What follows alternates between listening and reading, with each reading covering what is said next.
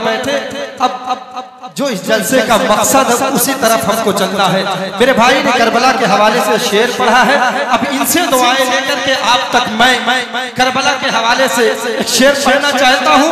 अगर इस शेर की रसाई आपकी समातों की तहलीस तक हो जाए तो आप शामिल हो जाइएगा। अल्लाह और माशा अल्लाह की सूरत। पढ़ा था जो है सर देने के हवाले से। मैं भी वही पढ़ता हूँ शायर कहता है कि बयान बयान जाए तो यकीनन जाने कि मैं भी कामयाब हूँ और आप सब भी कामयाब हो गए हैं। यही था तकाजा यजीद का। यही था तकाजा यजीद का। मायूस फिर भी दर से सवाली नहीं गया और बैत रखी हुसैन ने सर दे दिया उसे। इस दर से तो यजीद भी खाली नहीं गया।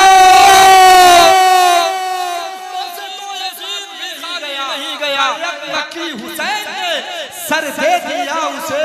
इस दर से तो यजीद भी खाली नहीं गया।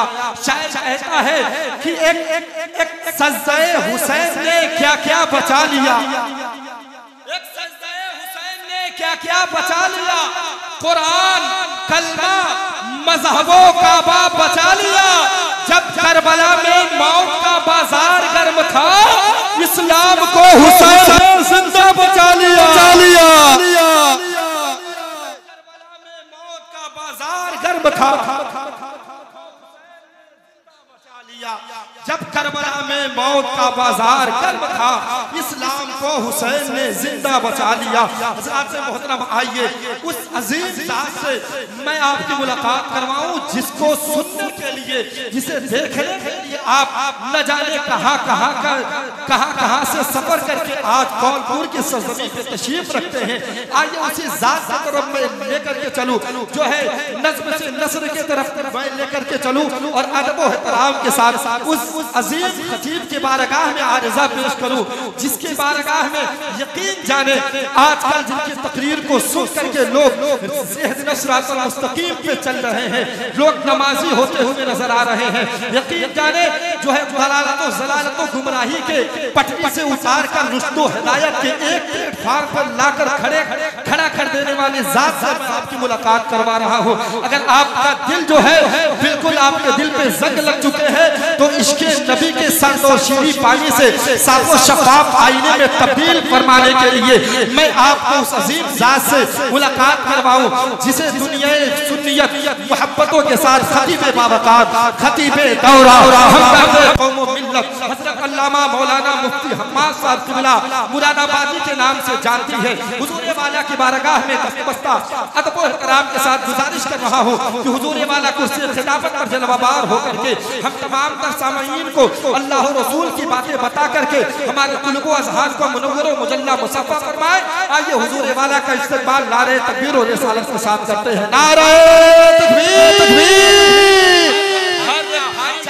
चाहे हो या आगे से लेके पीछे तक, दाएँ से लेके बाएँ तक, तमाम भाइयों के हाथ उठ जाए, ये सोच करके अपने हाथों को उठाए कि आज ये हमारा हाथ नहीं है, बल्कि इस्लाम का परचम है। नारे तकबीर, नारे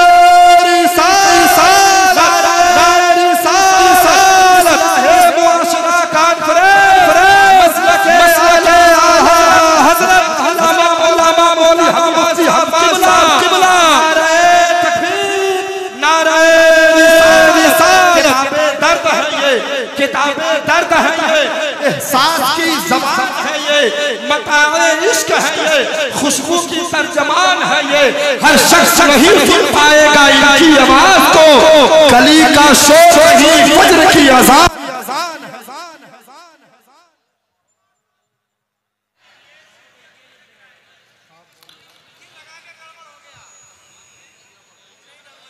मिंबर रसूल पर रौनक फरोज बवकार मुअज़्ज़म मुकर्रम। लाइक सदीज़त करीम सुन्नत, महफिल पाक में तशरीफ़ फरमा मोहतरम बुज़ुर्गों नौजवान साथियों, अज़ीज़ बच्चों, इस्लामी रिश्ते की फतमा आप, पर्दा नशीन, माँ बहनों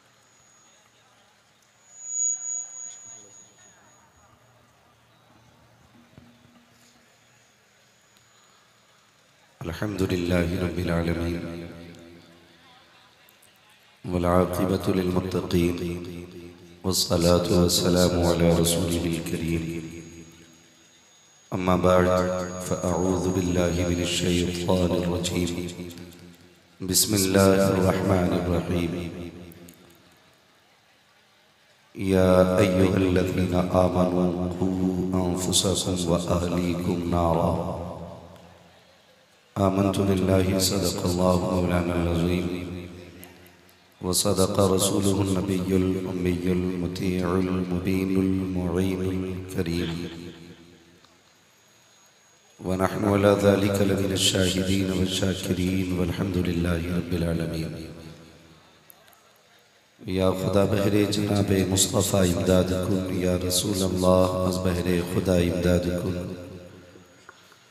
या शहीद करबला या दाफ़ी करबला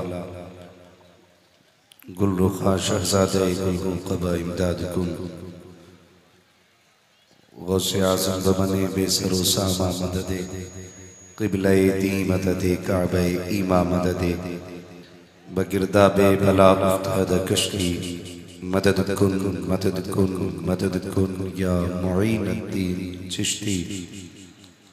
कादरी यमुना रे या गौसे आज़म मीजनम दमज शेख अहमद रजा खान कुतब आलम जलम बलगला कमाली ही कशफत दुजा भी जमाली ही हसूनत जमी और खिसाली ही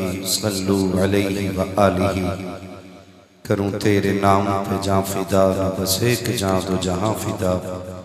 दो जहाँ से भी नहीं जी भरा, करूँ क्या करोड़ों जहाँ नहीं। जिसको अपनी नबी से जितनी मोहब्बत का एहसास हो कोशिश करें सारे लोग उतनी ही आवाज़ के साथ।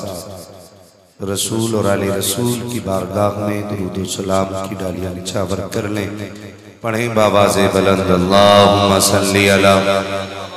सैदना व शफीना व नबीना मौलाना मोहम्मद वलकरम व आलि व शबी वबारक वसलम सलात वसलाम या रसूल अल्लाह सल्लल्लाहु अलैहि वसल्लम।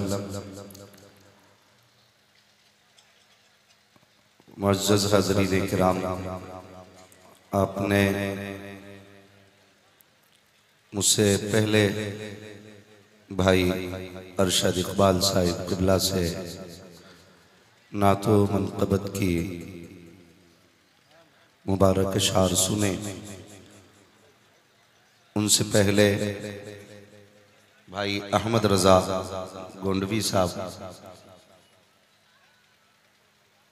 उनसे भी आपने नातो मनकबत के अशार सुने। और उनसे पहले खतीबुल हिंद उस्ताजुलमा हज़रत अल्लामा मौलाना मुफ्ती अलाउद्दीन साहिब कबला। उनसे भी आपने बड़ा ही नसीहत आमेज़ खिताब सुना। ये आप लोगों की मोहब्बतें हैं और सुन्नत की जर्रा नवाजी है कि मुझे इस लायक समझा और आज इस अजीम महफिल के ज़रिए मेरी और आपकी मुलाकात हो रही है।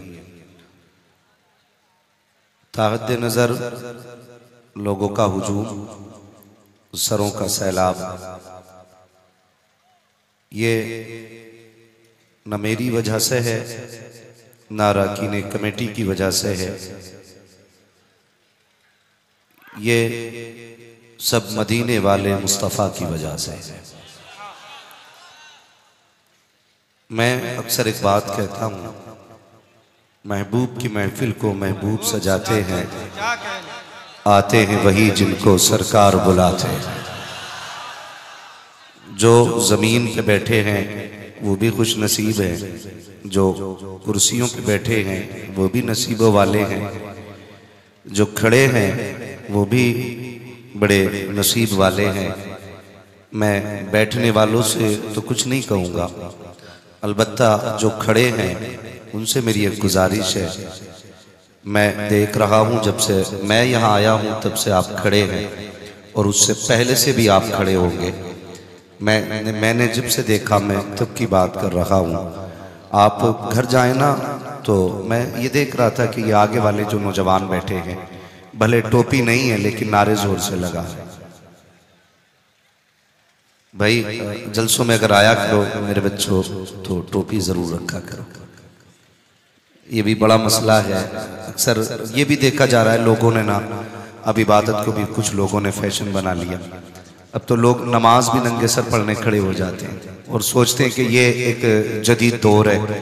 अब इस्लाम भी लिबरल होता जा रहा है, ये सोच ये उनका नज़रिया आ गया। लेकिन याद रखिए, इबादत के मखसूस अंदाज होते हैं अपने अपने हाँ कभी भी मस्जिदों में जाएँ या महफिलों में बैठे, वैसे तो मुसलमान को हर वक्त तो टोपी लगा के रखनी चाहिए। लेकिन ख़ास करके किसी भी इबादत की जगह पे अगर जाएँ तो सर छुपा होना चाहिए।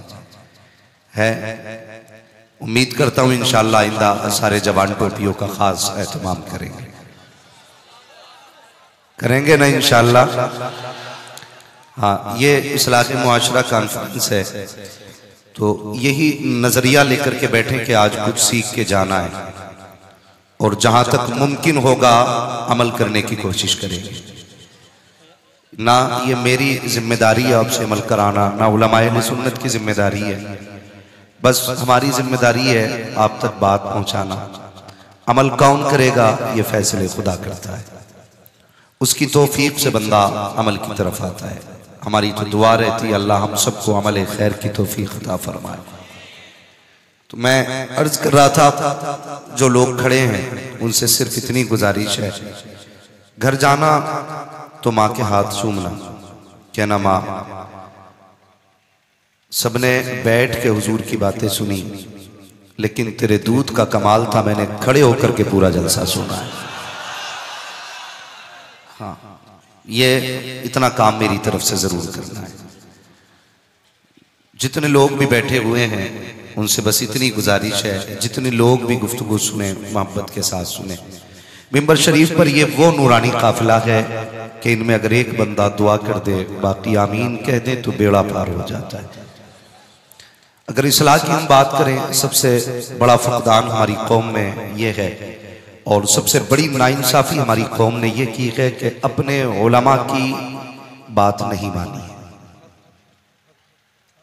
ये सबसे बड़ी गलती हमने की है कि हम अपने रहनुमाओं को अपना रहबर नहीं समझते। याद रखिएगा, जो कौमें अपने रहनुमाओं की कदर नहीं करती हैं, वो कौमें कभी तरक्की नहीं करती हैं। कभी तरक्की नहीं करती हैं। आपने, मैं एक मोटी सी बात करूँ। चरवाहे देखें। समझते ना चरवाहे? जो लोग बकरियाँ वगैरह चराया करते हैं, पालना। लोगों की बकरियाँ रख करके उनको चराना जिनका मशगला होता है, उनको चरवाहा कहा जाता है। समझ गए ना मेरी बात? अब आपकी जबान में क्या कहा जाता है, मैं नहीं जानता। लेकिन बस इतना समझिए कि चरवाहे आपने देखे होंगे। जिधर कभी कभी ऐसा होता, हम रोड पे इस चीज़ को महसूस करते हैं। कभी बकरियाँ बीच रोड पे होती हैं और एक चरवाहा आगे होता है, एक पीछे होता है तो वो आवाज़ देता अपनी मखसूस तरीके से। और बकरियाँ जानवर होकर के साइड हो जाया करती जानवर होकर के।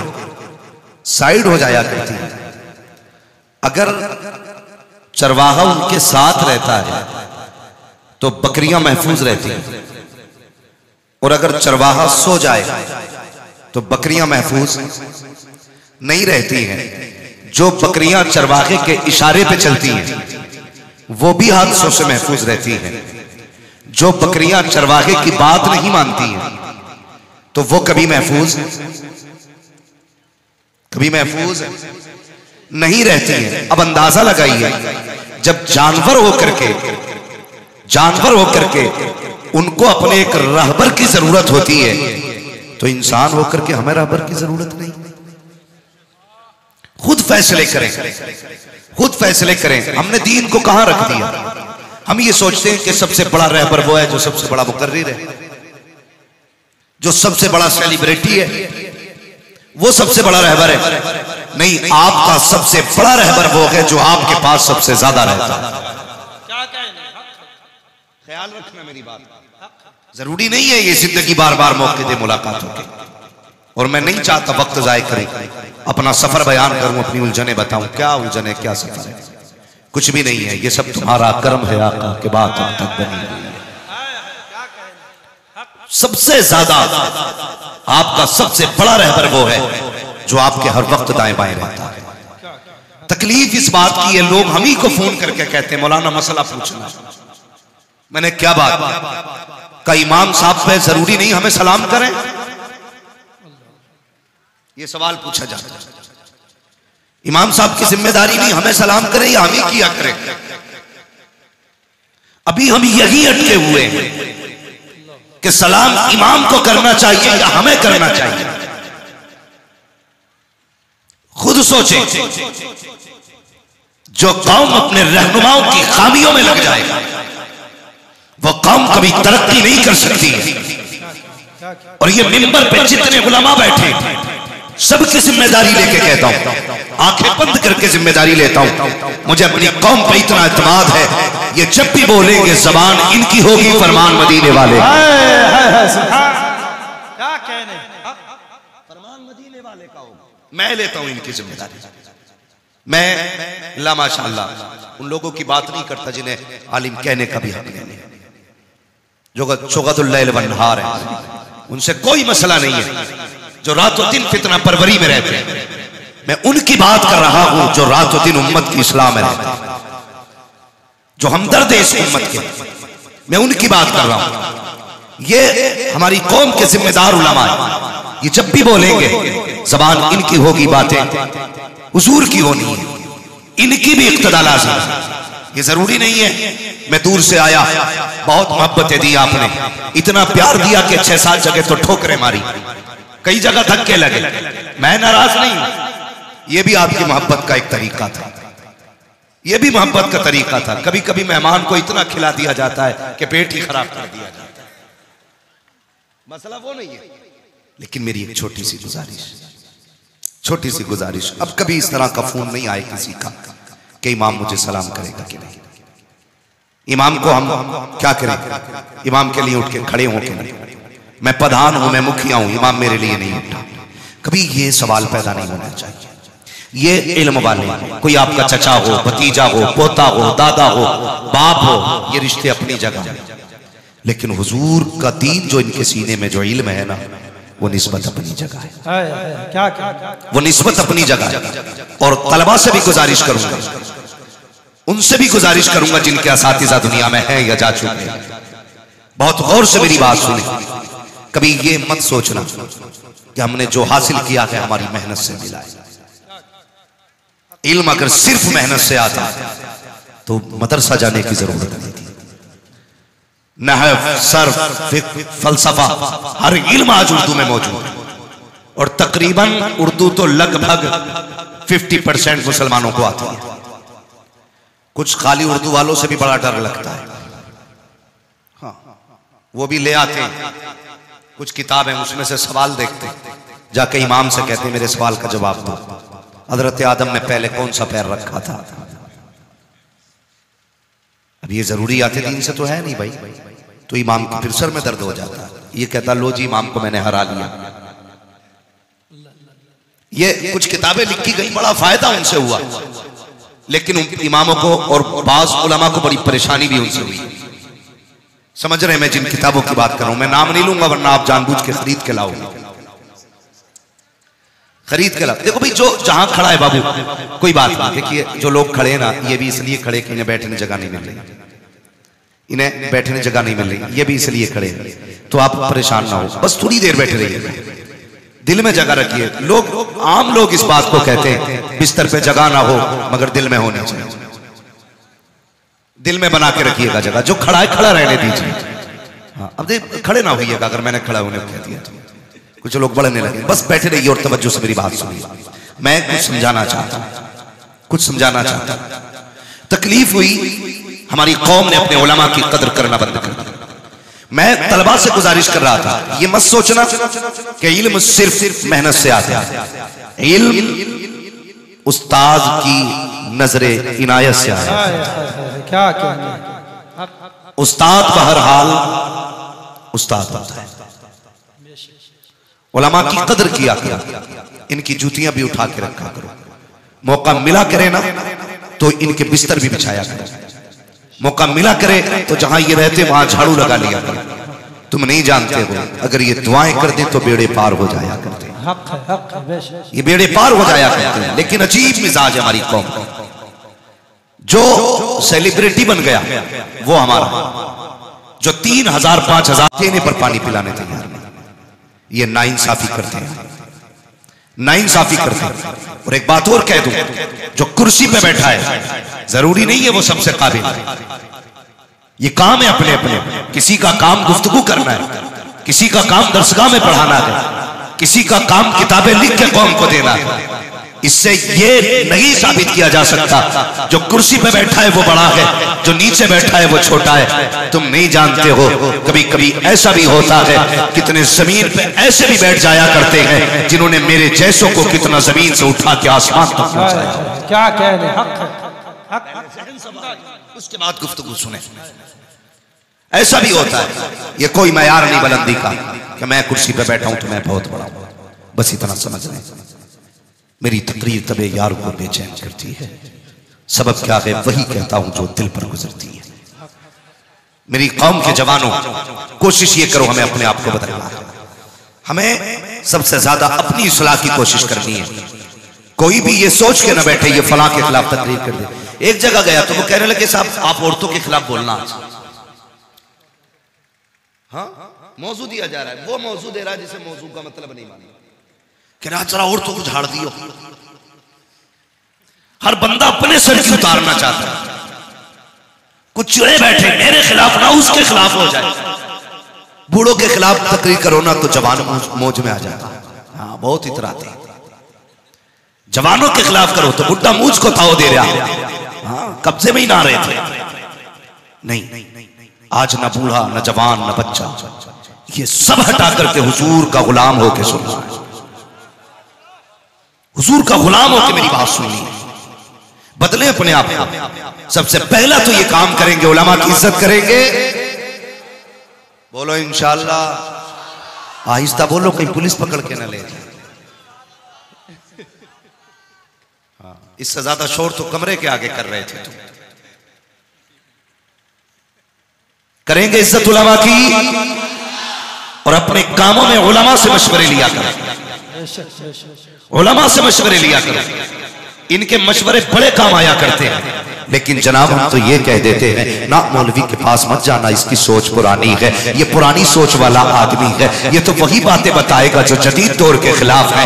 याद रख प्यारे, इनकी सोच पुरानी ज़रूर है हाँ हमें अपनी पुरानी सोच पे फ़िक्र है, लेकिन बहुत ज़्यादा पुरानी सोच नहीं है, हमारी सोच सिर्फ़ चौदह सौ साल पुरानी है, वो सोच हमारी है जो मुस्तफ़ा ने अबू बकर को दी थी, वो सोच हमारी है जो मुस्तफ़ा ने उमर को दी थी, वो सोच हमारी है जो मुस्तफ़ा ने उमर को दी थी, वो सोच हमारी है, जो मुस्तफ़ा ने उस्मान को दी थी, वो सोच हमारी है, जो मुस्तफ़ा ने अली को दी थी, वो सोच हमारी है, जो मुस्तफ़ा ने हसनैन को दी थी, और वो सोच क्या थी? वो सिर्फ़ ये थी कि मोहम्मद से वफा, तूने तो हम तेरे है, ये जहाँ चीज़ है क्या लोगों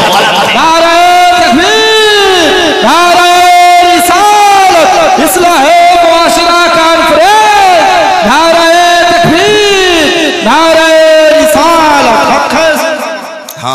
हमारी हकीकत क्या? है हमारी हकीकत ये है, न घर के, न घाट के दुश्मन अनाज के। न काम के, न काज के दुश्मन अनाज के। सुबह उठे, आँखें मछली पेट भर के खा लिया। दिन भर गप्पे शप्पे लड़ाए, शाम को खाई, फिर सो गए। क्या किया सिवाय का सिर्फ़ यही तो किया ना। खुद सोचो, बंदार बंदा अपने दिल पे हाथ रख के, जो मैं बात कर रहा हूँ। सिर्फ़ इतना ही किया ना हमने। सुबह उठे, खाया, शाम को फिर खा के सो गए। और एक बात और भी है, हमारी कौम का कोई टारगेट नहीं कोई फ्यूचर नहीं, कोई मुस्तकबिल नहीं। कितना है? हाँ भाई, फला काम होना था तो कह रहे यार कल देख लेंगे। बस, बहुत आगे तक की सोची हमने, कल देख लेंगे। इससे आगे हम नहीं जाते। अरे यार, कल देखा जाएगा, छोड़। लास्ट लास्ट स्टेज सोच के, कल देखा जाएगा। यहूद और नसारा को आप देखो। एक यहूदी के हाथ में ना, परचम था। हाँ परचम था। और उसमें लिखा हुआ था, खैबर के हवाले से कि बस तुम्हारी फतह खैबर आखिरी फतह थी। अब तुम कभी फतह याब नहीं। सोच सकते हैं यार, कब हज़रत अली ने खैबर को फतह किया कब? चौदह सौ साल बीत गए। मगर ये जख्म आज भी उनके सीने पे आज भी। और हम हम अभी इसी में लगे हुए हैं। अली अफजल है कि अबू बकर अफजल। अभी हमारे यही झगड़े खत्म नहीं हो रहे। कुछ नाम निहात खान का ही लोग भी आए उम्मत का वकार लूट लिया बगैर तो? और कौम को तबाह को बर्बाद करके रख दिया। हज़रत, जहाँ मैं रहा, वहाँ भी यही मसला। उम्मत के जवानों को गुमराह किया जा रहा है। और भाई अभी ये वक्त नहीं रह गया है। अफजल कौन है? अरे जो अफजल था, वो नंबर मुस्तफ़ा दे गए। अब तेरा मेरा काम नहीं है। अफजलियत का फैसला करना पहले सुन्नत का अकीदा ये है। पहला नंबर अबू बकर का है, दूसरा नंबर उमर का है, तीसरा नंबर उस्मान का है, चौथा नंबर अली का है। अब ये जब तरतीब है, तेरी नहीं मानी जाएगी। अगर मानी जाएगी मदीने वाले मुस्तफ़ा की नारे तकबीर नारे रिसालत मसलक आला हज़रत मसलक अहले सुन्नत इश्क इश्क इश्क मोहब्बत इश्क इश्क इश्क इश्क मोहब्बत नारे तकबीर नारे रिसालत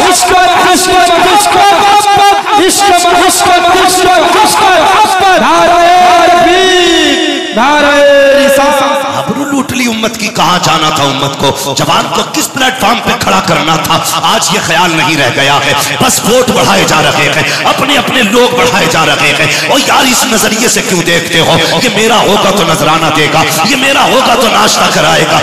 ये क्यों नहीं सोचते हो? अगर ये हुजूर का हो गया तो जन्नत में जाएगा। अगर मुस्तफ़ा का हो गया तो जन्नत में चला जाएगा। यार खोखले हो गए हैं। हमारे ईमान, लोगों ने आबरू लूट ली है इस्लाम की। लात मार दो उनको। आज उम्मत का हाल ये है जिस तरह गाड़ी से उतरने वाला, कोई अजनबी सवारी से उतरे तो कोई टेंपो वाला, कोई बच्चा लेके चला जाता है, कोई गठरी लेके चला जाता है, कोई बीवी लेके चला जाता है। एक कहता, मेरी गाड़ी में बैठ। दूसरा कहता, मेरी गाड़ी में बैठ। तीसरा कहता, मेरी गाड़ी में बैठ। जो उतरा के बस से, वो ये सोच रहा है, यार जाऊँ तो किधर जाऊँ? किसकी गाड़ी में बैठूं? अगर इसके ऑटो में बैठा तो वो बच्चा लेके चला जाएगा, उसके ऑटो में बैठा, ये गठरी लेके चला जाएगा, इसके ऑटो में बैठा, वो बीवी लेके चला जाएगा। परेशान है बैठे तो किधर बैठे? आज यही हाल उम्मत का है। परेशान है पूरी उम्मत। किसकी मानी जाए? एक टोपी वाला कहता है, अमीर माफिया गलत थे। दूसरा टोपी वाला कहता है, अली गलत थे। तीसरा टोपी वाला कहता है, नहीं नहीं, अली अफजल है। चौथा टोपी वाला कहता है, नहीं नहीं, अबू बकर अफजल है। अब माने तो किसको माने? परेशान मत होना। आँखें बंद कर लेना। अगर थक जाओ कहीं मत जाना। शहरे बरेली चले जाना। आला हज़रत की चौकट पकड़ना और इतना कह देना। मैं मुजरिम हुआ था मुझे साथ ले लो। कि रस्ते में है जा बचा जाने। बस बस। जिंदाबाद जिंदाबाद। जिंदाबाद या रसूल। अल्लाह। या अली, जिंदाबाद। जिंदाबाद। बस्ती बस्ती करिया करिया। ये तो हो गया अकीदे के मसले से सवाल। नहीं मानेंगे किसी की। हवाला अहमद रजा का दे। इमाम अहमद रजा का हवाला दे। तब तुझे भी माना जाएगा, तेरी बात को भी माना जाएगा। आज ये कंडीशन है उम्मत की भाई। परेशान है पूरी उम्मत। जाए तो किधर जाए। तो अब इस झगड़े से बाहर निकलना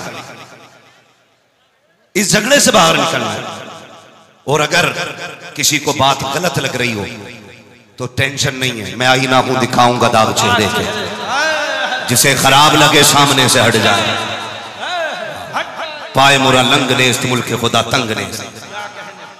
हम चलना जानते हैं और अल्लाह की ज़मीन बहुत बड़ी है। लंगड़े नहीं है हाँ और ना किसी के टुकड़ों पे पलते, उसूल है अपना, खाते हैं तेरे दर का। पीते हैं तेरे दर का। पानी है तेरा पानी, दाना है तेरा। ज़ोर से दाना है तेरा। दाना, लात मार दो, पीर हो। या कुत्ता हो टोपी लगा के आए या नेकर में आए लात मार दो। कहते नहीं मानी उसकी जाएगी जो अहमद रजा की मानेगा क्या क्या जो अहमद रजा की मानेगा तकलीफ़ इसी इलाके की बात है। मैं कई ऐसे इलाके देख के आया हूँ हिंदुस्तान में जहाँ पीरों ने तबाही मचा रखी। कभी कोरोना ने तबाही मचाई कभी हैजे ने तबाही मचाई। है ना? कुछ इलाके ऐसे जिनमें पीरों ने तबाही मचा रखी एक तो ऐसा पीर देख के आया, वो कह रहा नमाज़ ही नहीं पढ़नी है। बोलो माज अल्लाह वो लोग उसे भी मान रहे हैं हैरत है। उसे भी मान रहे हैं। उसकी भी लोग कदर कर रहे हैं। वो कह रहा नमाज़ नहीं पढ़नी है। उसे भी लोग मान रहे हैं। मैं एक दिन ताजुशरिया कॉन्फ्रेंस दीवानों ने कराई थी। मैं गया था, भाई कॉन्फ्रेंस का नाम देने का क्या मसला है? इसलाह मुआशरा आपने कॉन्फ्रेंस का नाम दिया। तो इसका मतलब क्या? ताकि जो भी आए, इस मौजू के तहत गुफ्तगू करे। यही तो मतलब इसलाह मुआशरा है तो मैं करबला की शहादत बयान करने बैठ जाऊँ। ये साबिर पाक की ज़िंदगी बयान करने बैठ जाऊँ। भाई टॉपिक और ये नाम का मसला ये होता है कि पता लग जाए कि ये महफिल कैसी है। यही तो है और नाम जो महफिल का होता है, उसी के हिसाब से गुफ्तगू की जाती है। तो ताजुशरिया कॉन्फ्रेंस थी। मैं ताजुशरिया के हवाले से गुफ्तु कर रहा था। वो पीर साहब आए, मुझसे कहने लगे, तुम्हें कुछ और नहीं आता? मैं उनका मुँह देखने लगा, क्या हो गया? कहने लगे, ये लोग बेवकूफ़ हैं। मैंने कहा, क्यों बोले, क्या बयान कर रहे हो तुम ये? मैंने कहा, क्यों कह रहे अल्लाह रसूल की बातें नहीं आती तुम्हें? मैंने कहा, यार, इस पीर किसने बना दिया? पीर किसने बना दिया? हैरत की बात है यार। तो ये छोटी छोटी सोच लिए कीड़े मकोड़े घूम रहे ऐसे बंदों से बच के रहना। नौजवानों, ईमान की हिफाजत सबसे बड़ी ज़िम्मेदारी। है बचेंगे इंशाल्लाह। और दूसरी बात एक और कह दूँ जो बड़ी तेज़ी से फैल रही है। हमारी कौम देवबंदी, वहाबियों में रिश्ते ब्याह बड़ी तेज़ी से कर रही है। ये बात मैं बहुत तेज़ी से इस बात को बयान करके आगे बढ़ जाऊँगा बहुत तेज़ी के साथ रिश्ते कर रहे हैं। खुद एक बात बताइए। किसी के घर पे कुत्ता अगर पलता हो, कुत्ता। समझ गए ना कुत्ता? ये जनरल नॉलेज की बात बता रहा कुत्ता जानते हैं ना? कुत्ता पलता है ना? तो जो बंदे कुत्ता पालते हैं, वो कुत्ते के बर्तन अलग रखते हैं। अपने खाने के बर्तन। ज़ोर से अलग रखते हैं। कोई भी बंदा कुत्ते के साथ प्लेट में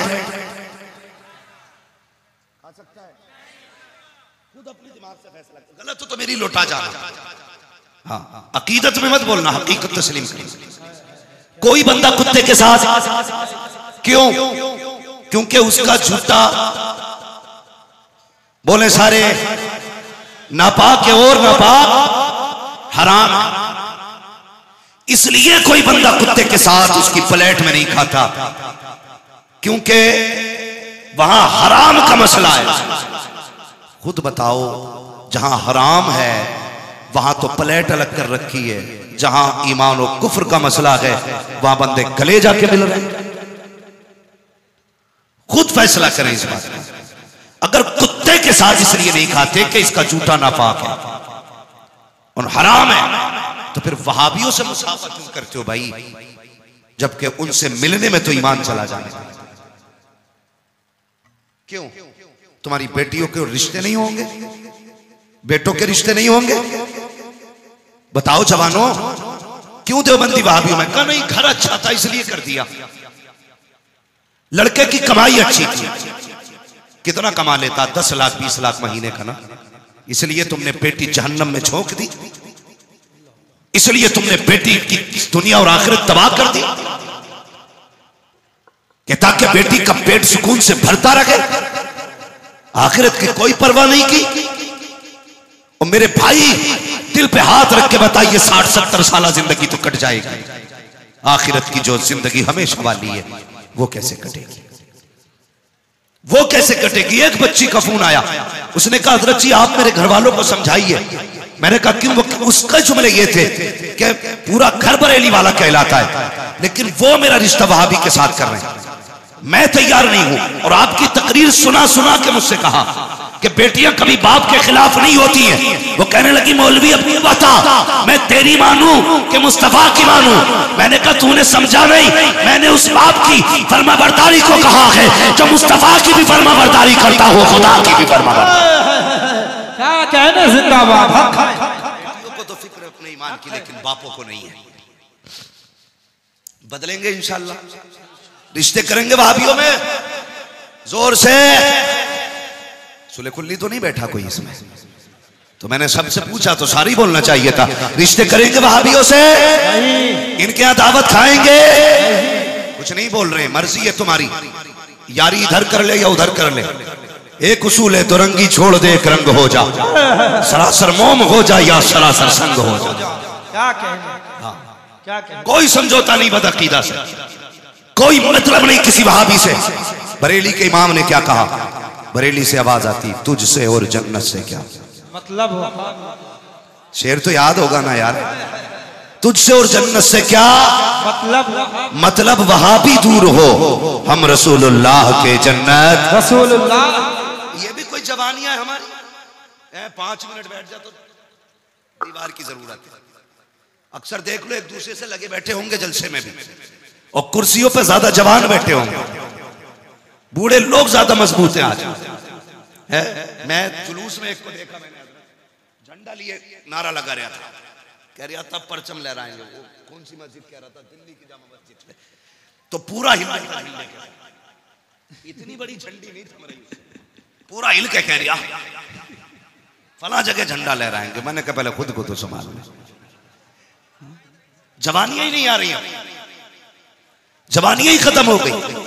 हमारी कौम रात को तीन बजे सोती है, सुबह को। क्या बजे उठ रही है।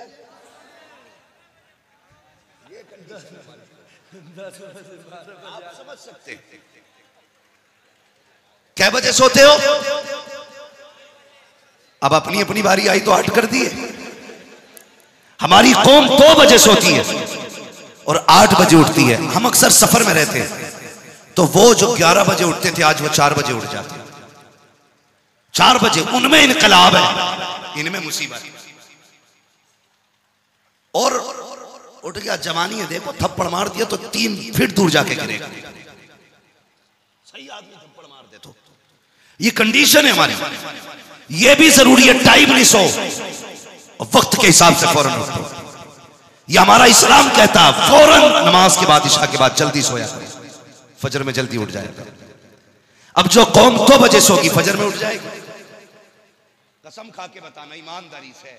इतने लोग जलसे में बैठे हैं, अगर यही जलसा तीन बजे तक चला तो कितने फजर पड़ेंगे? सारों ने हाथ उठा दिया, अल्लाह जिन्होंने हाथ उठाए, उन्हें मस्जिद तक जाने की तोफीक अदा फरमा दे। आपका एतकाद है। ये आपका वादा नहीं है, मैं भी जानता हूँ। मुझे पता है दस फ़ीसद लोग मस्जिद में नहीं जाएँगे। ये हमारे जलसों की हकीकत है। सुबह को रात को जल्दी सो जाया करो। और मेरी कौम के जवानों, ये ज़िंदगी बड़ी कीमती शह है। अगर ये चली गई, दोबारा मैसर नहीं होगी। अल्लाह अकबर, हर बूढ़ा चाहता है दोबारा जवानी लौट आए। हर बूढ़ा चाहता है दोबारा बाईस बत्तीस साल वाली उम्र आ जाए। लेकिन ये पलट के नहीं आती है। अगर ये उम्र दी गई है तो इसलिए नहीं दी गई है कि रात को दो बजे तक लेट करके बिस्तर पे मोबाइल चलाए जाए। दस बजे सो के उठ के आँख मसली जाए। फिर दुकान खोल के बैठा जाए। फिर टुक टुक देखा जाए ग्राहक नहीं आ रहा है। फिर मौलवी के पास आके कहा जाए, तावीज दे दिया जाए, बरकत नहीं हो रही है, बरकत नहीं हो रही है। ऐसे की धोखा देने वाले, वो तावीज देने वाले लोग हैं, जो बिना तहकीक किए तावीज दे दिया करते हैं। उनकी भी ज़िम्मेदारी बनती है। वो ये भी पूछा करे, बता, दुकान किस वक्त खोला करता है? कहीं दस बजे तो नहीं खोलता है, कहीं ग्यारह बजे तो नहीं खोलता है। वो यार, ये तावीज देने वाले, इनकी ज़िम्मेदारी ये है।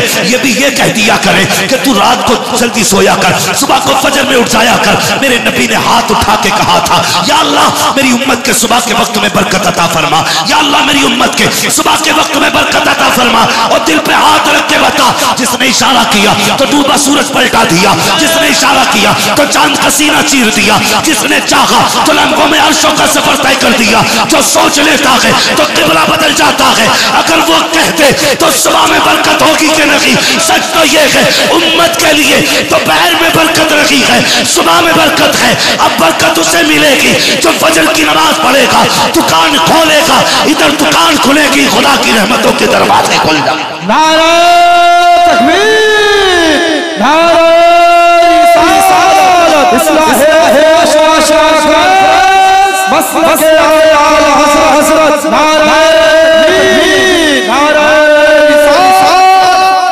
उठते हैं फजर में। बिजनेसमैन पढ़ने वालों पढ़ने वालों से भी गुजारिश है। हुजूर कलम पढ़ दो, इंटर इंटर है। एग्ज़ाम है, मौलवी के पास ले आया। खुद रात भर पबजी खेला। सुबह को मौलवी से पेन फुकवा रहा तू मेहनत मत कर, पास कराने कट्ठे का मौलवी का। हाँ भाई, ज़िम्मेदारी है ना। कुछ तरतीब है। अल्लाह ने असबाब पैदा किए दुनिया में। औलाद बाप के ज़रिए आती है, माँ के ज़रिए आती है। फल दरख्तों से उगा उगा करते हैं। रोशनी सूरज से होती है। गौर करें, असबाब अल्लाह ने बनाए गए तू पबजी खेल के मौलवी से फुकवा के इंटर पास हो जाएगा? अगर तुमने पैसे लेके चीटिंग करके इंटर पास कर लिया तो इंटरव्यू में निकाल दिया जाता है। तो कहते हैं, जावेद सुन के निकाल दिया था। आमिर सुन लिया था, इसलिए निकाल दिया था। मोहम्मद अली नाम सुना तो निकाल दिया। तो मैंने, नहीं, वो मिसबाई साहब। क्या नाम है उनका? जाहिद भाई नाम है क्या?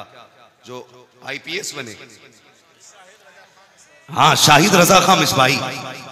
यार तू खाली जावेद और जाकिर और अब्दुल्ला के नाम पर निकल रहा वो मौलवी हो के कुर्सी ले ली अपनी। क्या डिप्टी कमिश्नर बन बैठे मौलवी होकर के तो ये तो बेवकूफ़ बनाते जो कहते आबिद समझ के निकाल दिया। मैं कहता हूँ जवान किसी मर्ज का इलाज तो बन। मरीज़ खुद ब खुद तेरे पास चल करके आएगा। लेकिन तू खुद एक बीमारी है तो तुझे किस अस्पताल में रखा जाए? यही मसला हल नहीं होगा पूरी रात के जलसे में बैठना के खड़े होना है। ज़्यादा भीड़ भी नुकसान दे जाती है। पढ़ेंगे इंशाल्लाह। मेहनत करेंगे। खाली कलमों पे फूंक तो नहीं लगवाएँगे। हाँ। देखो शेख सादी शिराजी रहमत फरमाते हैं, पहले आप मेहनत करें, अपने हिस्से का काम करें, फिर दुआ करें। अपने हिस्से का काम करें, फिर फिर फिर। मैंने क्या बात कही है? पहले हिस्से का काम करें, फिर दुआ करें। खाली दुआ पे भरोसा करना, ये बेवकूफ़ी है। खाली मेहनत पे भरोसा करना, ये घमंड है। दोनों बातें याद रखिए। अपने हिस्से का आप काम करो। फिर दुआ करो, अल्लाह कहेगा, तूने अपना काम कर दिया, मैं अपना काम कर दिया मगर होता क्या है, तीन बजे तक पबजी खेला, मुँह दे के चादर में।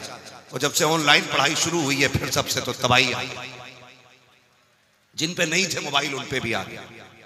अब्बा को बड़ा शौक है, लल्ली आईपीएस कर रही है। हाँ पहले नंबरों वाले मोबाइल से काम चल रहा था, अब तो टैबलेट लेके दिया ले। कौन सी पढ़ाई हो रही है रूम बंद करके? कौन सी पढ़ाई हो रही है लिहाफ में दबा के? ये भी कोई पढ़ाई है?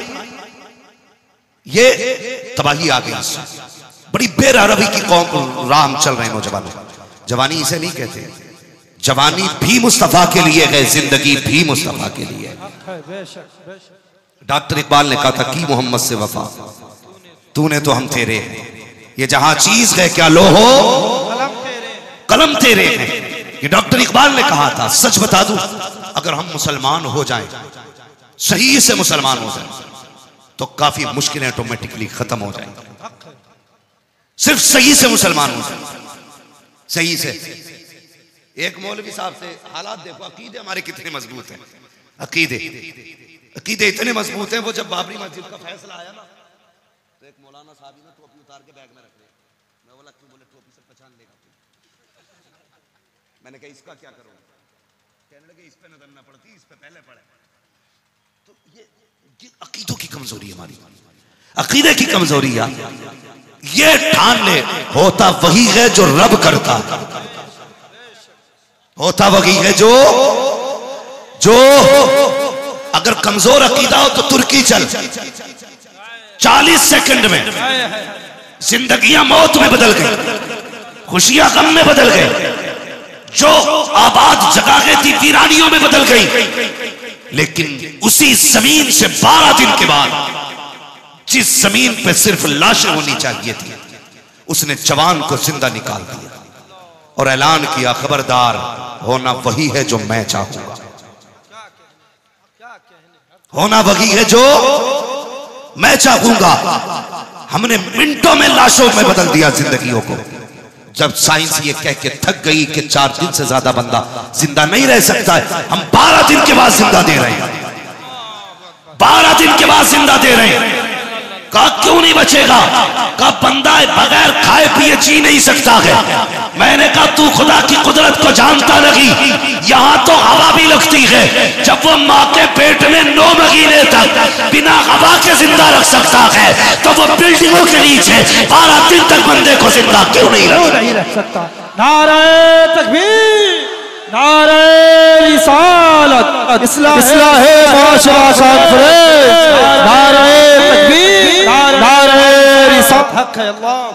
इसलिए अकीदा मज़बूत करो, होना वही है जो रब चाहे।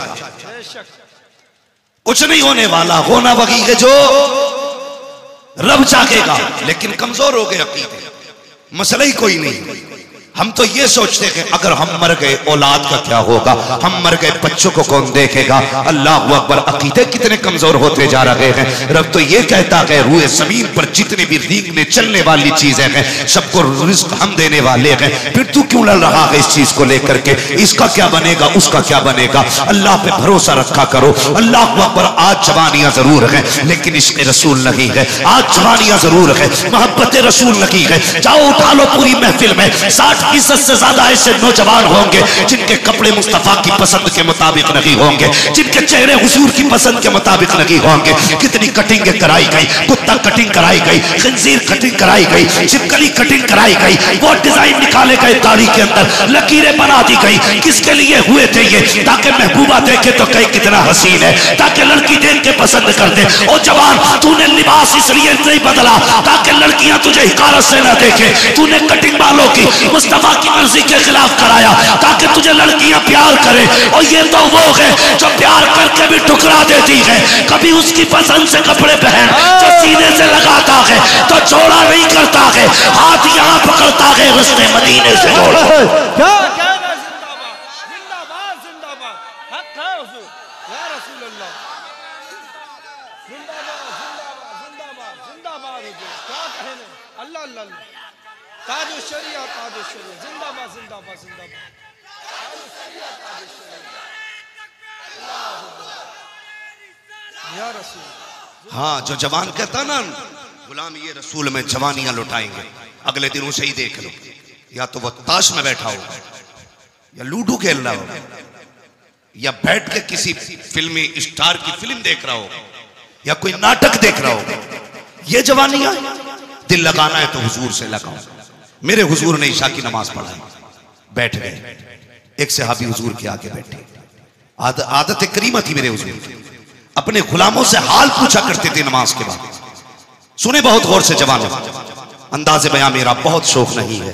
शायद के उतर जाए तेरे दिल में मेरी बात। हुजूर हालात पूछा करते थे। एक जवान बैठा।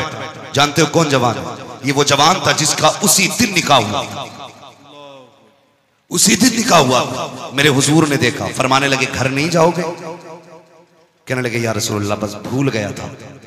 आपको देखा तो आप ही को बस देखता रह गया।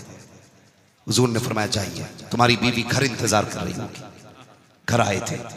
थोड़ी देर गुजरी थी। खाना वाना से फारिग हुए। अपनी बीवी के साथ बैठे ही थे कि इतने में आवाज़ लग गई। हुजूर ने बुलाया। जिंदगियाँ देखो हमारी। हुजूर ने बुलाया। जवान ने तलवार उठाई, निकलने लगा। बीवी ने कलाई पकड़ ली। सरताज, बैठ तो जाओ।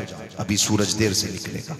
जंग सुबह होनी है। कुछ वक्त तो मेरे साथ गुजारो कुछ वक्त तो मेरे साथ गुजारो कहने लगे, खबरदार कायनात में हमारा कोई भी रिश्ता हुजूर से ज़्यादा गहरा नहीं है। हर रिश्ते से गहरा हमारे लिए हुजूर का रिश्ता है। छोड़ दिया बीवी को। दौड़ के आ गए। जंग हुई अगले दिन। जंग हुई। तो जंग के बाद ना जब जख्मियों को इकट्ठा किया जा रहा था तो जब इनको उठाने के लिए लोग गए तो हुजूर ने इशारा कर दिया नहीं मत उठाना। इनकी तमन्ना ये थी जा रहा हूँ दुनिया से। मेरा ख्वाहिश ये है कि हुजूर के कदमों तक मुझे पहुँचा दिया जाए। हुजूर ने फरमाया नहीं उठाना मत वहीं लेटा रहने दो। हुजूर बड़ा इसरार है उनका कि वो आप तक आ जाए। फरमाया तुम नहीं जानते हो मुझे वो इतना प्यारा है उसे नहीं बुलाऊँगा मैं चल के खुद उसके पास तक जाऊँगा ये है हुजूर का प्यार अपने गुलामों से। फरमाते मैं खुद चल के जाऊँगा उसके पास। हुजूर गए गोद में सर रखा बस फिर क्या था? बरेली से आवाज़ आती गर वक्त अजल सर तेरे कदमों पे झुका हो।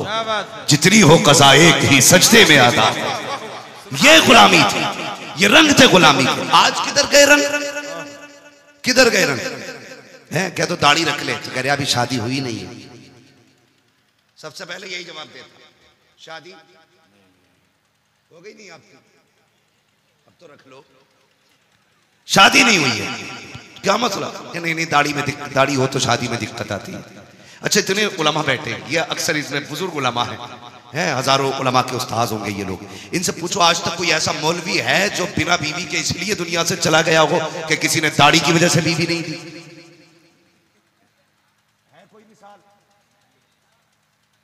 बोल क्यों नहीं रहे? टेंशन में आ गए ना। टेंशन में आ गए कोई बंदा ऐसा नहीं दिखा सकता। जिसको इसलिए बीवी नहीं मिली है कि उसके दाढ़ी नहीं होता ना। दाढ़ियाँ रिश्तों को रोकती।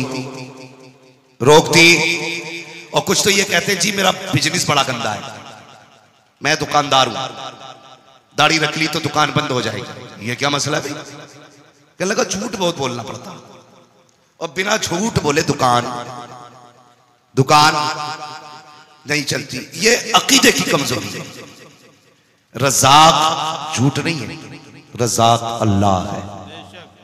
रजाक अल्लाह है। रोजी अल्लाह देने वाला है। तो लोग कहते झूठ नहीं बोलेंगे तो चलेगी नहीं दुकान। कभी नहीं। अपने रब की तस्वीर पढ़। दुकान खोल के बैठ। दुकान खोल के बैठ। किसी बंदे ने ना अंदर दुकान खोल अंदर। तो दूसरा आके कहने लगा, यार, यहाँ दुकान खोली है। यहाँ चल जाएगी दुकान। तो उसने बड़ी प्यारी बात कही। उसने कहा, यार, एक बात बता, मौत का फरिश्ता यहाँ आ सकता है कि नहीं? मौत का फरिश्ता? दुकान कितनी भी अंदर हो, मौत का फरिश्ता आ सकता है कि नहीं? आ सकता है। तो उसने कहा, जब मौत का फरिश्ता आ सकता है तो रिस्क का फरिश्ता नहीं आ सकता। रिस्क का फरिश्ता हर जगह पहुँच सकता है। तो ये तुझसे किसने कह दिया? झूठ न बोले तो दुकान नहीं चलती है। बहाने न बनाए तो बिज़नेस नहीं होता है। तुम नहीं जानते हो। ये जानता हो, मान लो। तुम झूठ बोल करके किसी को धोखा दो। हाँ हाँ कितनी बड़ी धोखे के साथ ज़िंदगी गुजार रहे हैं। जाओ जा करके कभी बाजारों में देखो। रोडों पे देखो जो फल बेचने वाला है। कम ये भी नहीं है। आगे अच्छे सेब लगा देता है। पीछे गले सड़े सेब लगा लेता है। आगे लाल और पीले केले होते हैं। अंदर कच्चे और सड़े केले होते हैं। अल्लाह पर बेचने वालों के हालात देखो। जब कोई खरीदने जाता है, पचास रुपए रेट बताया, दो सौ रुपए रेट बताया, अच्छे दिखा के गड्डियाँ भर दिए जाते हैं। और तेरे आगे हाथ जोड़ के कहता हूँ, नौजवान, कभी किसी को धोखा देने की मत सोचना, ये याद रखना, अगर तूने सौ रुपए लेकर के चार कले केले चढ़ा दिए, या पाँच काने सेब चढ़ा दिए, जब वो थैली उसके घर जाके खुलेगी, ये तो जानता हूँ, शायद वो तुझे ना जाने कि तू कहाँ का था। लेकिन जब वो कले सेब देखेगा उसके दिल से आग निकलेगी और ये अल्लाह के अर्श को पकड़ेगी।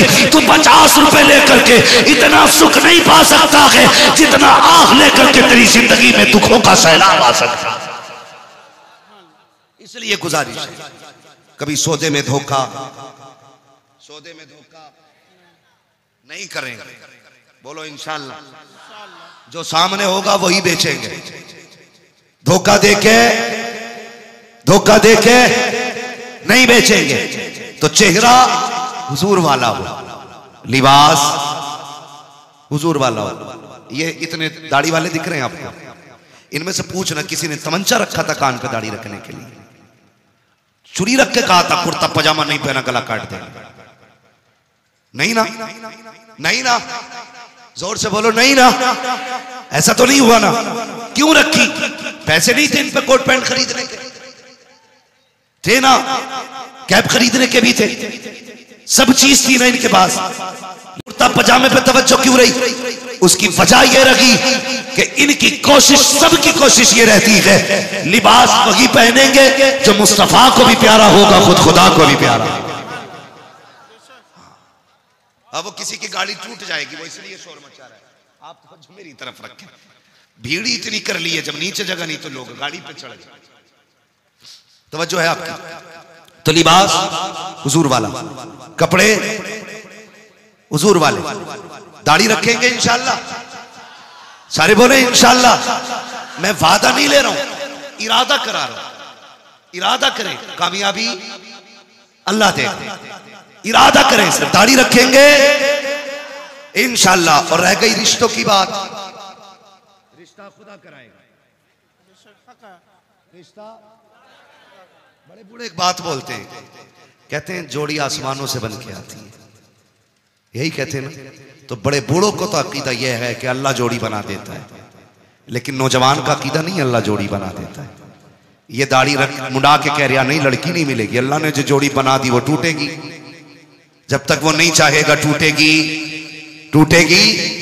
नहीं टूटेगी ना? तो इसलिए दाढ़ी रखें, हुजूर की रजा के लिए। फिर घर में बरकतें देंगे कई चीज़ें हैं। जिसकी दाढ़ी होती है ना, मैंने देखा, वो कभी रिश्तों में डिमांड भी नहीं करता। दस लाख मांगते देखा दाढ़ी वाले को। बीस लाख हाफिज जी को, इमाम साहब को। मौलवियों में भी बड़े बड़े जमींदार होते हैं धोखा मत खाना। ये मत सोचना, ये तीन हज़ार वाले ही हैं। इनमें कई ऐसे भी होंगे जो सैकड़ों बीघे ज़मीन के मालिक भी होंगे। समझ रहे ना? लेकिन ये दस लाख, बीस लाख नहीं मांगते आज जो दुनिया में सबसे बड़ा फसाद फैल रहा है ना, वो हमारी डिमांड और बढ़ते जहेजों की वजह से। बढ़ते जहेजों की वजह से। हमारी कौम ने ये इंसाफ नहीं किया। हमने बच्चियों के साथ इंसाफ नहीं किया। हमने बेटियों के साथ इंसाफ नहीं किया। सगा चचा अगर पैसे वाला है ना तो वो अपनी बेटी को कार देता है। भतीजी गरीब है। उसकी फ़िक्र नहीं है। फिर भाई इस टेंशन में रहता है। जब भाई ने गाड़ी दी है तो लोग ये सोचेंगे, ये भी गाड़ी देगा। कई भतीजियाँ इसलिए शादी से महरूम रह गई कि बाप के पास देने के लिए गाड़ी का पैसा नहीं था। दस लाख का तमाद खरीदने की औकात नहीं थी बाप की। ये सोच करके कई बेटियाँ घरों पर बैठी रह गई। और पैसे वालों, दौलत वालो, तुम्हें खुदा का वास्ता अगर रब ने तुम्हें दिया है, देने के तरीके और भी होते हैं। जहेज में दिखा के मत दे, रिश्ते के नाम पे मत दे। शादी के बाद दस लाख का चेक दे दे, बीस लाख का चेक बेटी के हाथ में दे दे तेरी मर्ज़ी है। कभी बेटी को बुला के दे दे कभी बेटी के घर जाके दे दे लेकिन ऐसा मत करना, जिसकी वजह से दूसरे की बेटी की ज़िंदगी तबाह हो। तुझे देखने के बाद तेरी भतीजी घर में आँसू बहाए। तेरा भाई अपनी बेटी के रिश्ते के लिए तड़पता रहे और कोई रिश्ता उससे बराबरी का नसीब ना हो। और मेरी कौम के जवानों, रिश्ता कभी दौलत के लिए ना करना। अगर करना है तो मुस्तफ़ा जाने रहमत की सुन्नत के लिए रिश्ता करना। नाराए तकबीर। कॉन्फ्रेंस मसल के आला हज़रत नाराए तकबीर नाराए रिसालत जन्नत में जाना चाहते हैं ना सारे लोग? सबको जन्नत जाना है। अल्लाह ताला सबको जन्नत अता फरमा दे। ज़ोर से।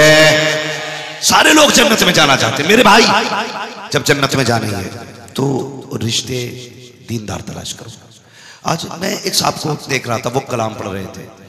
हाँ अल्लाह खालिद बिन वलीद भेज दे, मोहम्मद बिन कासिम भेज दे। खाली दुआओं से काम नहीं बनेगा भाई। खेती के लिए ज़मीन तैयार करनी पड़ती है। जैसी ज़मीन होती है, वैसी फ़सल होती है, जैसी माँ होती है, वैसी नस्ल होती है। जैसी ज़मीन, वैसी, जैसी माँ, वैसी नस्ल, देखभाल के करना। खाली हुस्न पे मत जाना। जहेज और पैसे पे मत जाना। शरीयत देखना।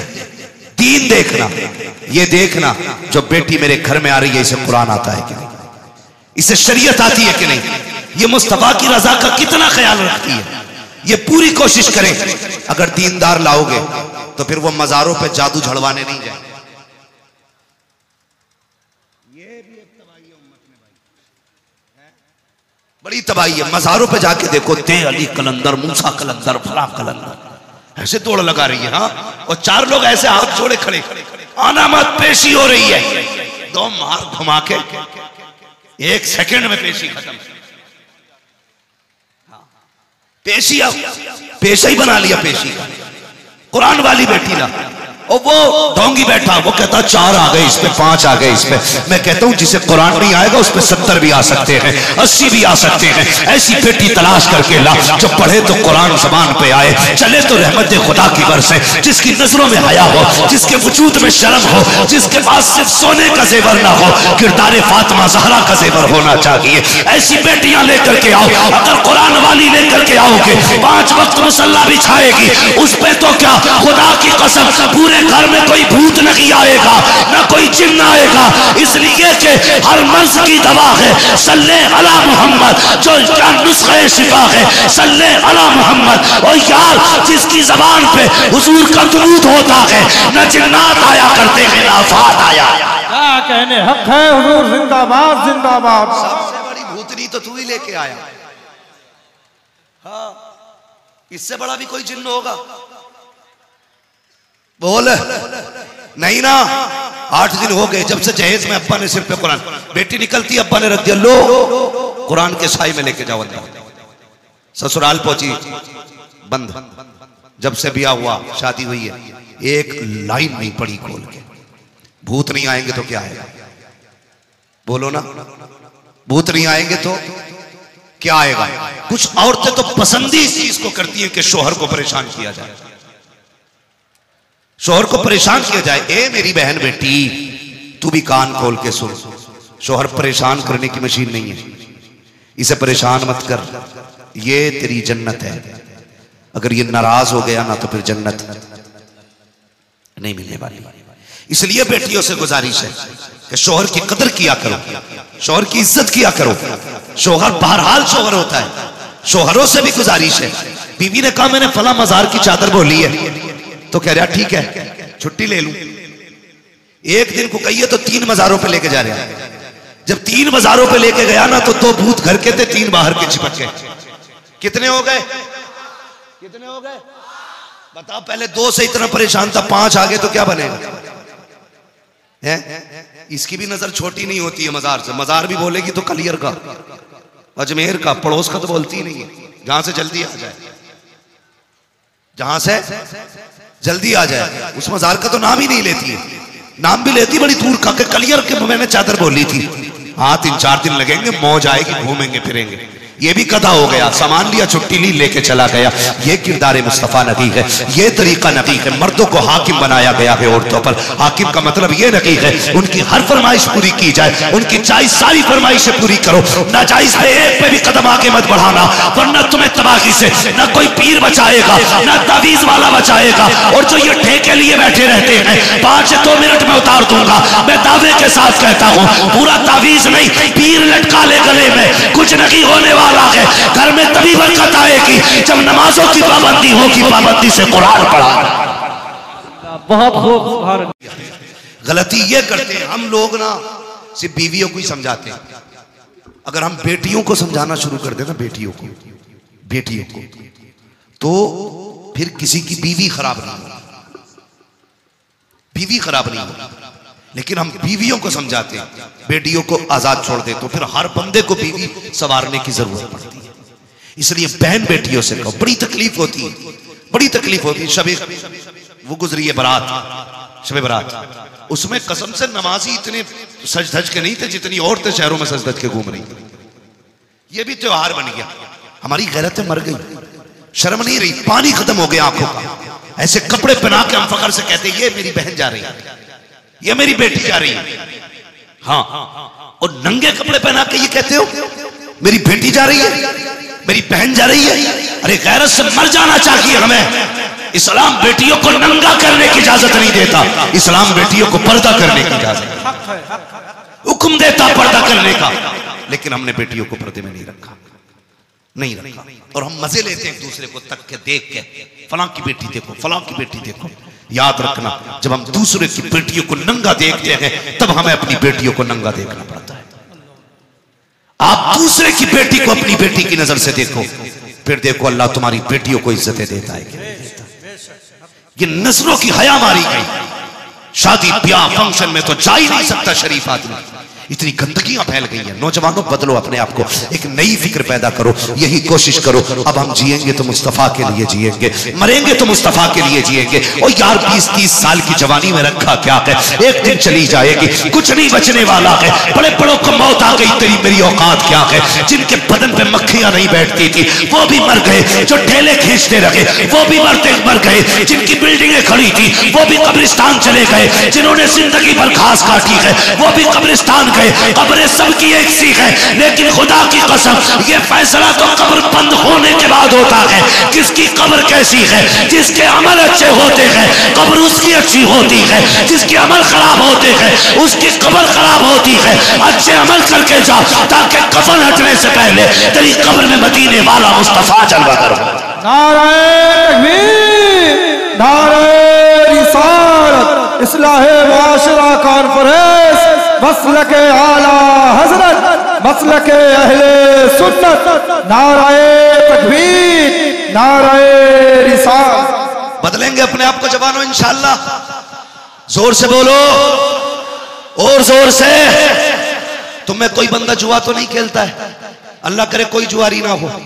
अल्लाह करे कोई शराबी ना हो। अल्लाह करे कोई सटेरी ना हो। कोई नशेड़ी ना हो। जितने भी हो, अल्लाह ताला इन बलाओं से महफूज रखे।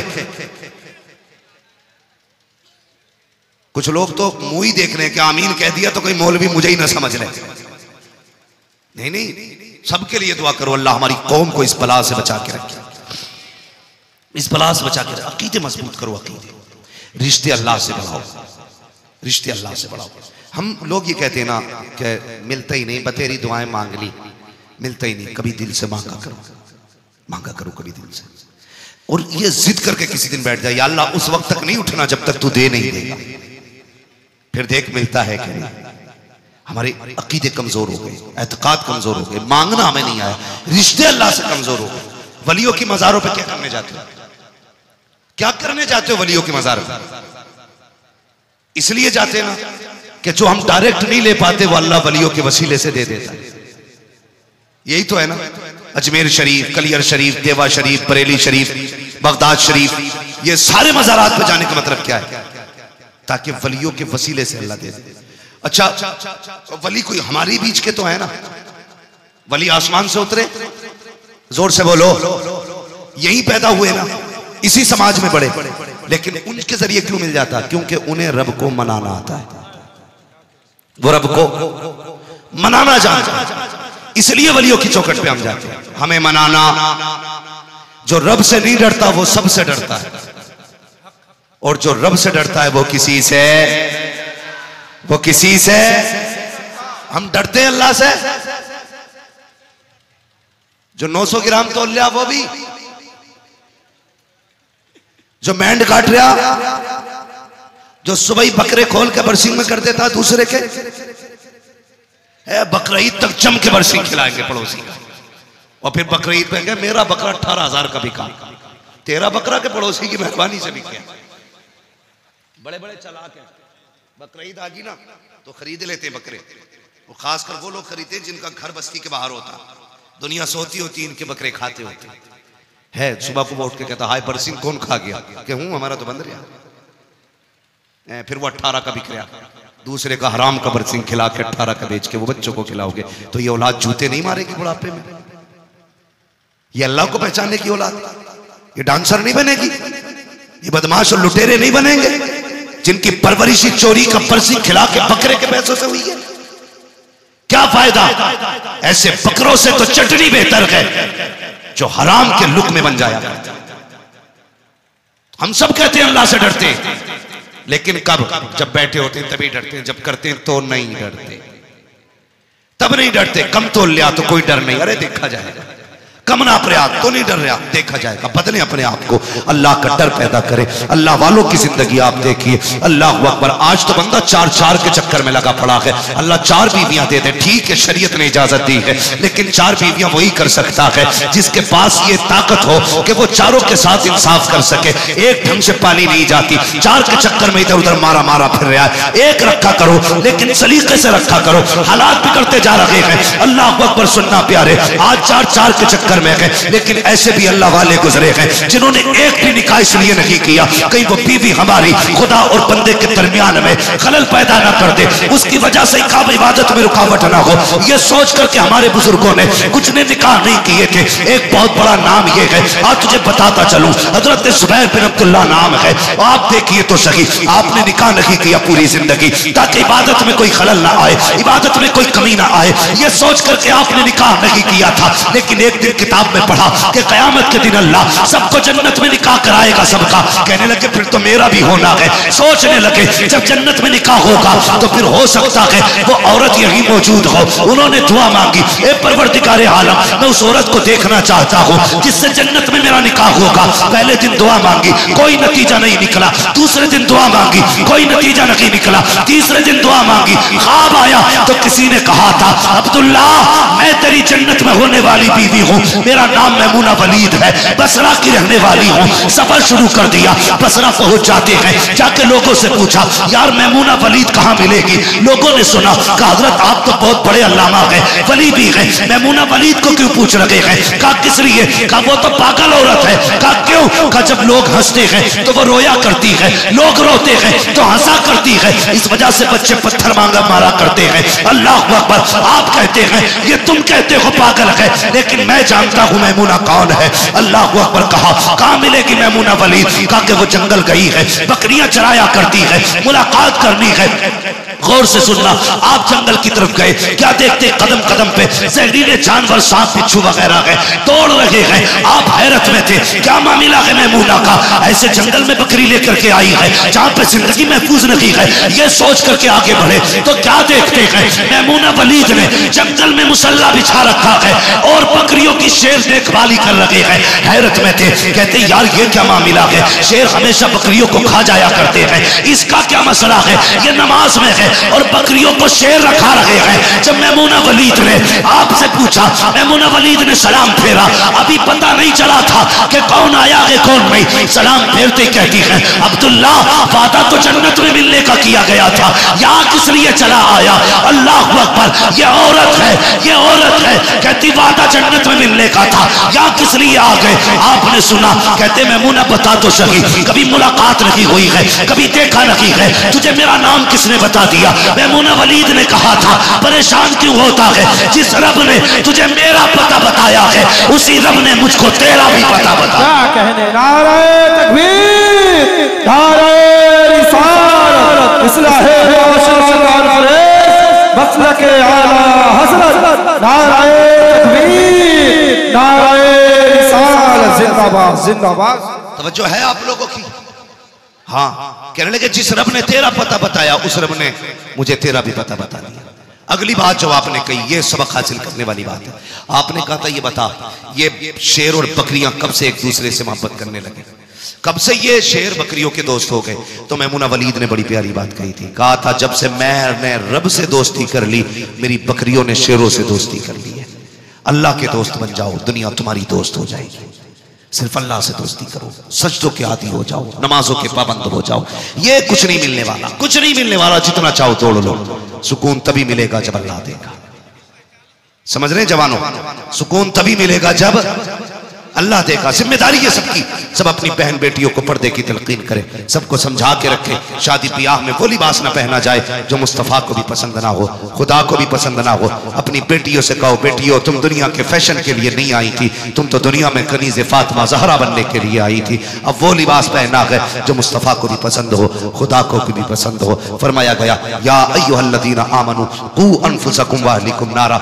ईमान वालों, अपने आप को और अपने घर वालों को जहन्नम की आग से बचाओ। कोशिश ये करनी है कि हमें अपनी बहन बेटियों की देखभाल करनी है। उनको कनीज फातिमा जहरा बनाना है। उनको कनीज फातिमा जहरा बनाना है। सफ़ों में इतफाक पैदा करो मोहब्बत पैदा करो मसल के आला हज़रत पे पाबंद रखो। कोशिश ये करो हमारा जाकिर भी मुस्तफ़ा जैसा हो हमारा बातिन भी मुस्तफ़ा जैसा हक है हक है बेशक। करेंगे इंशाल्लाह कोशिश? सारे वादा करो इंशाल्लाह। मसल के आला हज़रत पे पाबंद रखेंगे। अभी बैठे रहिए भाई अभी नाच है, ऐसे नहीं उठी। अगर मैं ऐसे उठोगे तो फिर मैं तकलीफ़ फिर शुरू कर दूँगा। मेरे सर में आज इतना तेज कदर थे, बस मुझे ही पता है। बार बार कितनी तकलीफ़ हो रही। बैठ जाइए भाई बैठ। जवान बैठ जाइए, अभी आपको ना अरशद इकबाल भाई को सुनना है। बैठ जाइए बाबू, बैठ जाइए अपनी जगह पे। फरमाया गया, या अय्युहल्लज़ीना आमनू नारा। ईमान वालों, अपने आप को और अपने घर वालों को जहन्नम की आग से बचाओ तो हमें अपनी भी हिफाजत करनी है, अपने घर वालों की भी हिफाजत करनी है। शादी ब्याह में ये बढ़ते अखराज और ये तमाशे ये ख़त्म करें, कोशिश ये करें, काम ऐसे करें जिससे अल्लाह भी राज़ी हो जाए, रसूलुल्लाह भी राज़ी हो जाए। मुझसे शजरे की फरमाइश की है भाई ने बार बार इशारा हो रहा है। मैं शजरा पढ़ देता हूँ, ज़रा कह दे सुबह अल्लाह मैं मैं शजरा पढ़ दे रहा हूँ अगर आप बैठ जाए तो। अगर आप बैठे तो शजरा पढ़ू मैं। बैठ जाए भाई आप खड़े बैठ रहेंगे जाए, तो मैं शजरा नहीं बैठ जाए बैठ जाए आप बैठ जाए। जाइए। बैठ जाइए आप बैठे तो मैं शजरा पढ़ूँगा। आप बैठ जाए। कमेटी के हजरात जहाँ कहीं भी हैं उनसे मैं गुजारिश कर रहा हूँ यहाँ से ये इन लोगों को हटाए साइड करें। भाई बैठ जाइए। बैठ जाए भाई बैठ जाए इतमान सुकून के साथ आप लोग ये भी काम करना है। बैठ जाए बैठ जाए इत्मीनान के साथ। ये अदब नहीं है भाई जो आप कर रहे हैं ये अदब नहीं है। बैठ जाइए बैठ जाइए प्लीज़ मैं आपको बार बार बता रहा हूँ मेरे सर में बहुत तेज दर्द है। आप परेशान ना करें। परेशान ना करें मैं आपकी फरमाइश समझते हुए ना मैं शजरा पढ़ दे रहा हूँ। वरना मुझे बहुत तकलीफ़ हो रही है मैं जब से बैठा हूँ कुर्सी पे। हाँ मैं शजरा पढ़ना चाहता हूँ जरा बोल दे सुबह अल्लाह ऐसे नहीं आपने सुना भी होगा। सुना भी होगा जिस तरह सुना जाता है फिर वैसे ही शजरा सुनना पड़ेगा। जरा बोल दे। ये कुर्सी वाले अब बोलेंगे कि नहीं? बोले जरा सुबह अल्लाह पीछे तक सारे लोग बोले या रसूल अल्लाह रसूल अल्लाह बात सुन लीजिए मैं जब हाथ का इशारा करूँगा ना तो आपको सुबह अल्लाह कहना है। उस बीच में मैं सांस ले लूँगा और आपको नेकी मिल जाएगी। ठीक है जी?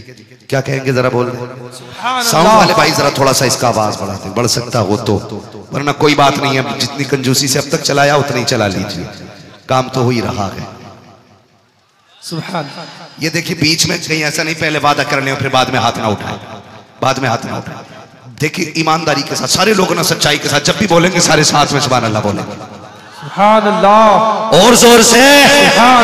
आदम के बेटे शीश शीश के बेटे अनस अनस के बेटे कैनान कैनान के बेटे अल्लाह नहीं नहीं ये वीडियो बनाने में लग गए बच्चे। ये ये क्या मसला है यार? सुनने बैठे हो आज तो।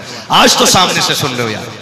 अभी भी मोबाइल लिए बैठे हो जरा बोले सुभान अल्लाह आदम के बेटे शीश शीश के बेटे यानस यानस के बेटे कैनान कैनान के बेटे मैलाइल मैलाइल के बेटे ब्यारत ब्यारत के बेटे इदरीस इदरीस के बेटे मुतवशिर मुतवशिर के बेटे लमकने के नाम लमकने के नाम के बेटे नूह नूह के बेटे शाम शाम के बेटे जुलात जुलात के बेटे शालिद शालिद के बेटे आबिद आबिद के बेटे दाता दाता के बेटे रावा रावा के बेटे सारू सारू के बेटे नाकुर नाकुर के बेटे तारिक तारिक के बेटे इब्राहिम खलीलुल्लाह इब्राहिम खलीलुल्लाह के बेटे इस्माइल सबीगुल्लाह इस्माइल सबीगुल्लाह के बेटे केदार केदार के बेटे वाम वाम के बेटे अमल अमल के बेटे साबित साबित के बेटे सलमान सलमान के बेटे रईसा रईसा के बेटे इलियासा इलियासा के बेटे औद औद के बेटे हव्वा हव्वा के बेटे अदनान अदनान के बेटे मोहित मोहित के बेटे नदार नदार के बेटे मुदर मुदर के बेटे इलियास इलियास के बेटे मुदरिका मुदरिका के बेटे खदीमा खदीमा के बेटे किनाना किनाना के बेटे नदर नदर के बेटे मालिक मालिक के बेटे फार फार के बेटे गालिब गालिब के बेटे लुई लुई के बेटे काब काब के बेटे मुर्रा मुर्रा के बेटे किलाब किलाब के बेटे कुसाई कुसाई के बेटे अब्दे मन्नाफ अब्दे मन्नाफ के बेटे हाशिम है हाशिम के बेटे अब्दुल मुत्तलिब है अब्दुल मुत्तलिब के बेटे अब्दुल्लाह है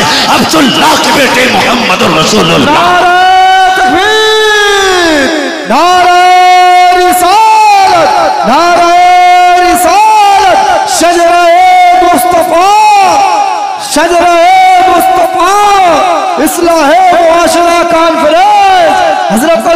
मौलाना मुफ्ती हम्माद साहब किबला। नारा तकबीर नारा बस जो हुए अगला तुम कमा फरमाए रब कायनात। ज़िंदगी ने दिया साथ फिरोगी मुलाकात चमन रहा फूल खिलेंगे ज़िंदगी रही फिर मिलेंगे। मुसाफिर हैं हम भी मुसाफिर हो तुम भी किसी मोड़ पर। तशरीफ़ रखिए आप तशीफ तशरीफ़ रखिए अदब से अदब के साथ तशरीफ़ रखिए आप तशीफ तशरीफ़ रखिए आप तशीफ तशरीफ़